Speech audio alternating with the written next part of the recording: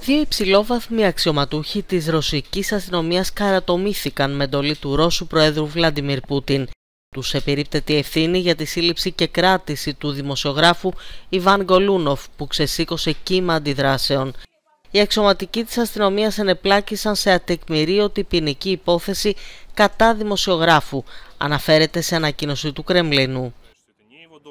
Η ρωσική αστυνομία ευνηδιαστικά και χωρίς εντολή εισαγγελέα συνέλαβε για ανάμειξη σε διακίνηση ναρκωτικών τον 36χρονο δημοσιογράφο. Ο Γκολούνοφ είναι γνωστό στη Ρωσία για τις αποκαλύψεις που έχει κάνει σε υποθέσεις διαφθοράς στη Μόσχα. Αφέθηκε τελικά ελεύθερος μετά από μια πρωτοφανή κινητοποίηση της κοινωνίας των πολιτών.